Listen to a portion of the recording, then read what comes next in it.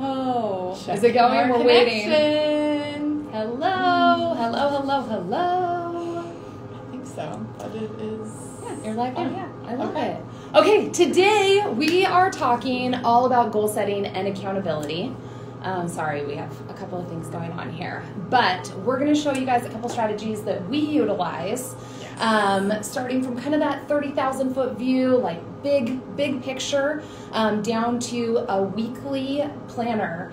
Um, and it's all in line to help you reach that big goal. Um, but first, why is it important to goal set, Christina? Yeah. Oh my gosh. Why does that I, matter? I don't know who is exactly watching all of these videos right now, but if you're anything like me or like Katie, you love a fresh new start for a year. Mm-hmm. I know that I can't wait, and it's my favorite time of the year to be able to say, hey, like, what am I going to change this next year? This is, let's stop and reflect. Yep. Was this last year awesome? It was in these different ways. Yep. And what's going to happen next year? I can't wait because these are the things I want to do. So, putting pen to paper is so important because if you take the time and the energy to do that, you're so much more likely to actually put the effort in to get the things done to get you to those goals. Yeah. So, if you're serious about the goals, you need to take time to look through them and put pen to paper, whether that's physical or on a computer. Yeah, kind of how whatever your strategy is. I know people do vision boards. Um, for us, it's kind of spreadsheets that are flexible and movable, Yep. um, and that works really well. If it's just writing down whatever it is, we're going to show you our strategies though that we utilize. Yep. Um, starting with the five-year goal planning. Five Yes. years. Five years. It seems so big, When, but it's when was the last time you thought about your life and what you would be doing in five years? And we could go big. We could go bigger and 10 years and everything else like that. I get a little overwhelmed, but five years, I can absolutely sit down and do that. So we've got a really simple tool that we use over here. This is something I'd be happy to share, or you can just create your own. But Yeah. basically, what is the year? What is this year, next year, blah, blah, blah, down five years, and what categories are important to you in your life? What do you want to track and measure? Mhm. So for mine, I have work, money, family, health, faith, fun, and home. Because there are always things that are moving in those categories, and I want to be able to measure my progress in those things. And you need to plan your fun. Yeah. Oh that my gosh. one of my yes. favorite things about Keller Williams is sitting in trainings and they're like, "What's the first thing you put on your calendar?" And everyone's Yeah. like, "Lead generation," and all of the. And they're like, "Your vacation." Yeah. Your Uh-huh. vacation is the first thing. So plan your fun, but also why it's important is because like today, you've got a baby. Yes. So certain trips are not the perfect fit for today, Mhm. but they're great fits for two or three years down the road. Yeah. But also, you've got a first grader. Yeah. So you don't want it to be too far. For me, I look at a five year plan and I'm like, in five years, Yeah. I'll have a senior in high school. So it's really important for me to look five years out because what do I want to have done with my oldest daughter before she leaves the house? Like, Yeah. Oh, it's gonna make you me only have but- so many summer vacations, only so many spring breaks, and you want to have fun. You don't want to just Yeah. pass them by, but you also need the money to complete those trips. You also need the time. Yeah. Um, so yeah, so that's one way that I like to fill mine out is I go through and family. First of all, I'm naming all of my children and what age they will be in these years. Yeah. So that we can then kind of help define that. And uh, my littlest is nine months old. I'm going to be done breastfeeding very soon. So that's a little personal, but also totally awesome that I'm going to be done with that and moving on It's with my life. It's huge. Um, so yeah, but so it changes that. where you are financially too. Yeah. I mean, Mhm. you go from having one child in private schooling to three children in private school. That's going to be so that great. changes what your So financial needs are. Like it impacts everything, and it's so Uh-huh. important. I personally have never sat down and done a five year plan. This is something that I'm going to be actively doing over the Mhm. next week to prepare for 2022, and I'm really excited for that. Because it's just it's new to me, and I love it. I've Yes. totally latched onto that. But how do Mhm. you take that and move it into like I want to see the needle move in the next year? Yes. And that's where our GPS comes in. So that's looking at a goal setting tool that evaluates what is your one main goal, your one Yep. thing that you want to accomplish a year from now. So when I look back in December of 2022, I'm like, Mhm. boom, I did it. Or, well, I fell a little short, but here's all my other wins. yeah. Um, and part of the reason why I love this, do we call it the GPS, is because it's it's flexible. It can move with you. If I get a couple months into the year and it isn't, I'm realizing that my one goal isn't actually aligning with what I really want that goal to be, I can adjust and change it. Mm-hmm. It's flexible. It moves. You're not cornered in. Of course, in life, you're you're not with goal Right. setting. Yeah. But the point of this isn't to just let your goals go because it's February and you haven't been moving forward. Mm-hmm. It's to reevaluate at that point. So the GPS looks at that one thing, your one goal, and we're going to give you examples of this, but it's one goal, Yeah. three priorities for achieving that one goal, mm-hmm. and then five strate- strategies Yeah. for handling each priority. Like it's 15 mm-hmm. things. Let's dig in with an example, Katie. I love it. So let's take financial. Yes. Um, because I think that applies to everybody. So if you're, it's a great goal, I think, for any household is to increase your net worth. So let's just use a percentage because that's tangible, right? Keep it simple, make it measurable. So if my goal is to increase our household net worth by 20% year to year, that's tangible. I can easily look back and reflect on where we were because we do a net worth calculator Yep. um, and see how that has changed over the course of the year. My three priorities then are going to come into categories like budget and savings, Yep. right? Things Yep. that I can control my budget and my savings, my income and my salary, which can look different um, for different people. And then my third strategy is going to, or my third priority is going to be investments. Um, Yes. So again, we'll just look at this real quick. Your one goal is on the top right here. Say that's to increase your net worth by um, 20%.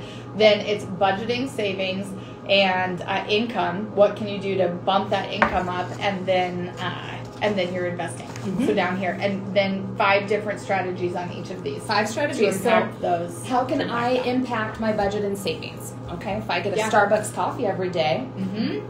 maybe I cut that out and I move that five, six, seven Mm-hmm. dollars um, into a savings account every day. At the end of the year, you're going to be amazed at how much you have saved just by that one little change. Unless coffee is really, really important to you and you don't want to let it go, and then you save that. You keep that for Yeah. yourself and you pick something else. I And feel like coffee's always else. getting picked Coffee on. always gets picked on. so it's maybe it's more of a need than a want in your life, and I get that and I hear you. Yes, but I see you. what are your areas? Where can you adjust your spending, cut back? Exactly. Are there Amazon boxes showing up on your doorstep every Mhm. month? Yeah. Every day? Every week? Mhm. Maybe we cut down that frequency just a little bit. Let it sit in your shopping cart for a week and see if you still need it in a week. That's something that I started doing. Yeah. And that has really helped. And I'm like, actually, no. Like I I've survived just fine. I felt found a way around that. Yeah. So And as great of a deal as it is, do I really need to spend it? Mm-hmm. Even down to like I know for me adjusting where I like do I really need to hit the X dollar amount to get the free shipping? yeah. I follow this hilarious guy on the gram, um, and he was joking. He's like, "Hey, I saved ten dollars just by not trying to qualify for free shipping," and I'm no like, kidding. "Oh, that is totally me." Uh-huh. Find the areas in your life where you can cut back a little. Um, just make those quality of life, I mean, changes that, Mhm. again, you can sacrifice a little to reach your one big goal. Um, so, what, what that looks like for Yeah. you, figure that out. Second Yeah. strategy income, salary. For us, we're in a sales driven industry. So, if we want to make more money, hustle harder, right? Like help more families. help more families, have more conversations, um, you know, education, all of that, so that you're a better resource for your Mhm. clients. Um, but if that's not your situation, because we understand that, I've been in a salary position before where it's fixed income every month.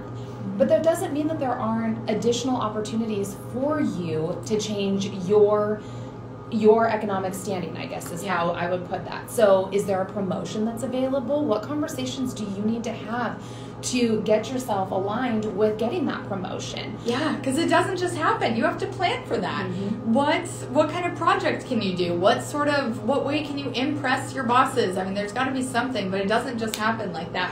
Are you So a handy? around it. Handyman services are needed everywhere. Yeah. Um, I mean, there's just there's so many opportunities there. So don't just sit back because you're a salaried employee and think that you can't impact your annual income because you absolutely can. You may just need to brainstorm on ways to do that. Um, the third one was investing. So is that stock market? Is that real estate? Is that crypto? There's so many different Mhm. ways that you can go with that.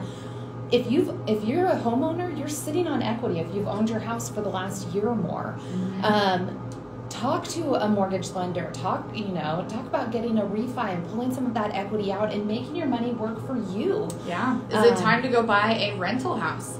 If you've got cash sitting around in a savings account, that's not working for you. Yeah. And with inflation the way that it is, you are losing money. So let's plug that money into something else that's going to give you a really great return. Yeah, somewhere Some where you're going to see a return or passive income, whether it's a return on that investment immediately, passive income for the long haul.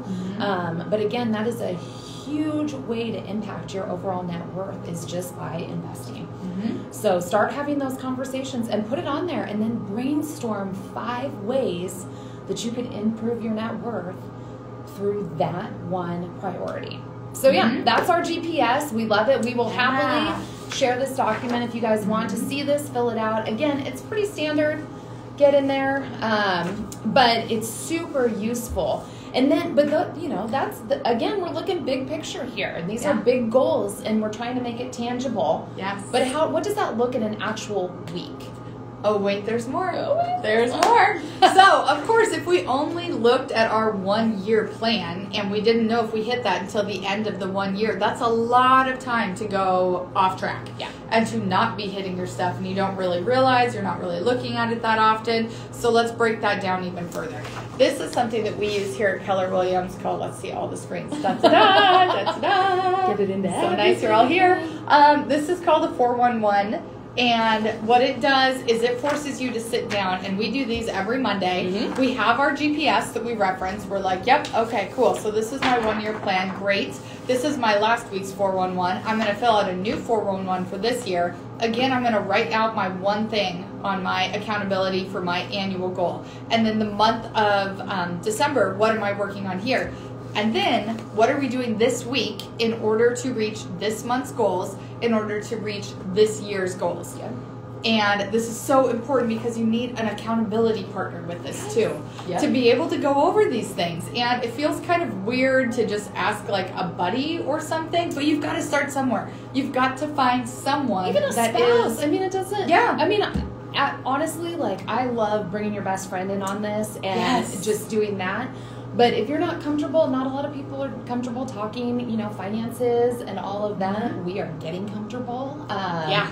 And we love it opening that door to that conversation because money makes the world go round. Like, start having that conversation with your best friend. Start dream planning with your best friend. But if it's not your best friend or a friend, your spouse, your parent, um, find somebody Yeah. who you can discuss your big plans with, and then you guys can establish what you want to do in in the ter- in terms of accountability. yeah, So, is it discussing weekly? We meet weekly. This is my Mhm. accountability buddy yeah, we meet weekly and we discuss our plan for that week and how it's moving the needle towards our overall annual goal.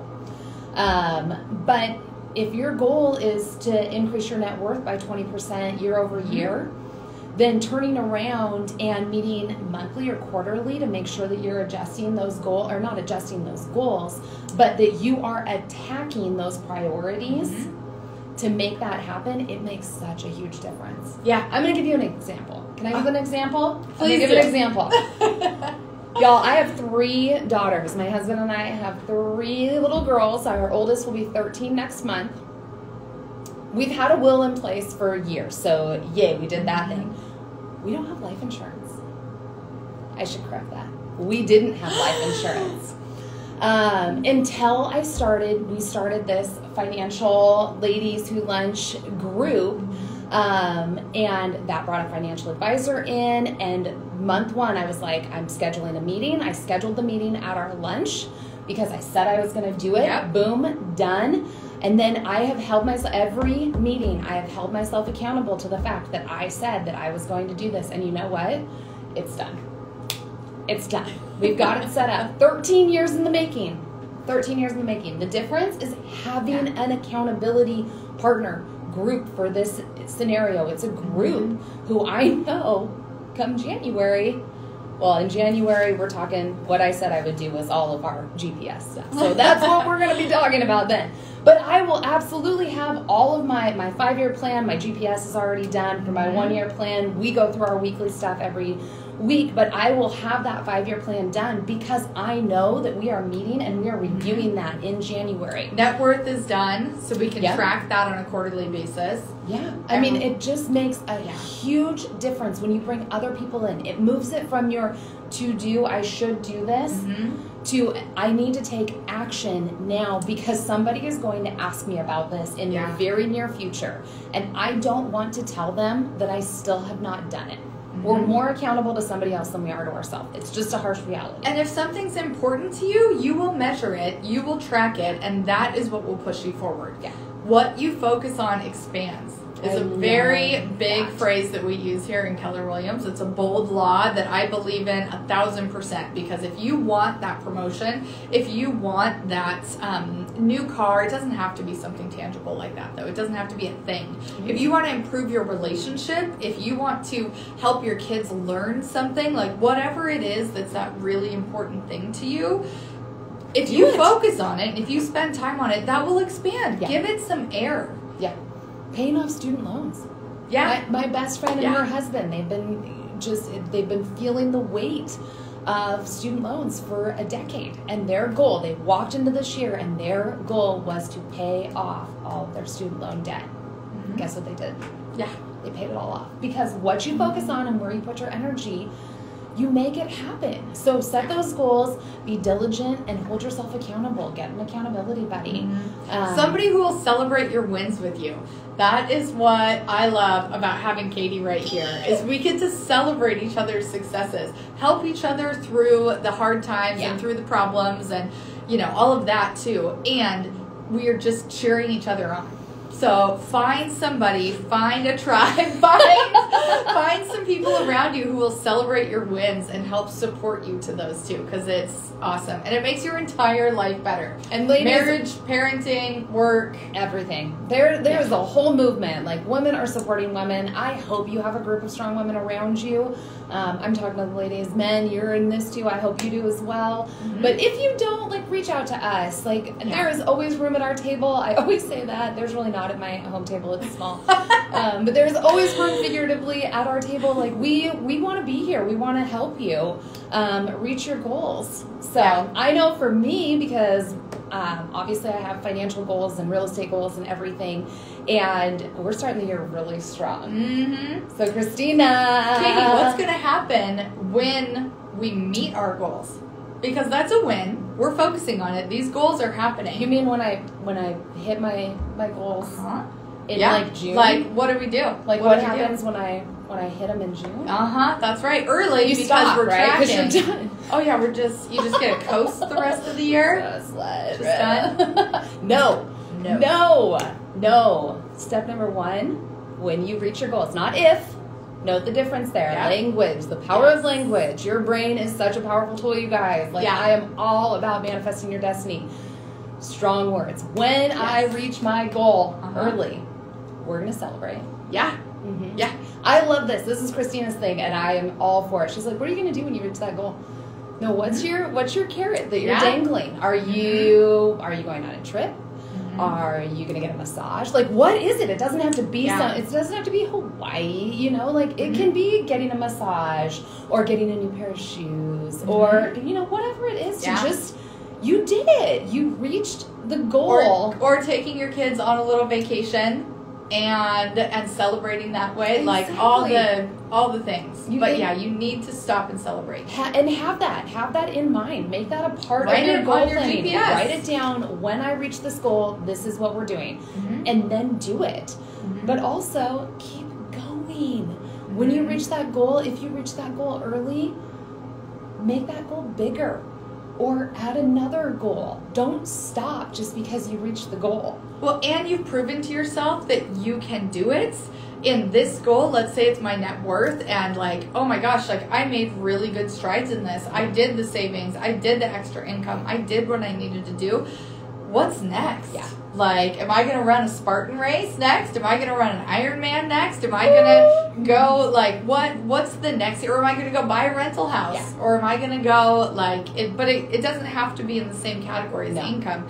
Do it with health and fitness. Do it with your family. Do it with you know something else. To to be brave and go try something. Oh, I love it. And honestly, like you can have a, a one goal. Like it's great to have a financial goal that one thing that you want to accomplish. I think that's huge for households.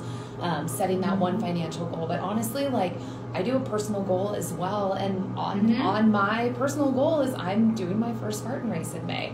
Um, and that will absolutely happen. And there are absolutely strategies behind how Yeah. I need to get myself Uh huh. able to complete a Spartan race in May. Mm-hmm. Um, but even family, like being so intentional with your time, because when you're someone like me, you realize I do. I've got five years, five and a half years with my oldest daughter in the house. Like that is going to go by like that because the first 13 have flown by. So, what do I, I want to be intentional with that time? I want weekly family dates. I want a date night a month with my kids. Like, plan, use these strategies for different facets of your life so that again when you turn around and you look back at your year in december of next year you're like wow look at all that i accomplished Yeah. And celebrate the year, Mhm. and then get excited about what you're gonna do next year. and the amazing So- thing is even if you set a really big goal if you don't quite achieve that you're still gonna come i, I Uh-huh. love the saying shoot for the moon even if you miss you're still gonna land among the stars. Like Right. go big and go for it and don't be afraid to just take that chance and put it out there. Like what do you really want Yeah. and go for it Mm-hmm. you'll be surprised So we're here cheering you guys on. Thank you for watching. We Yes. hope you got something from this. And uh, let us know if you want any of these tools. We'd be happy to email them over to you and share. or if you need a cheerleader we're here Yeah, absolutely. If you Yeah. want somebody to share your stuff with, we would love to hear about it and uh, and be there for you. That's it. So- and that's it before Christmas. Have Yeah. a very Merry Christmas, and I think we'll see you guys in the new year. Yeah, exactly. Yeah, we'll Mhm. see you guys in 2022. brand new year. All right, bye guys. Thanks, guys.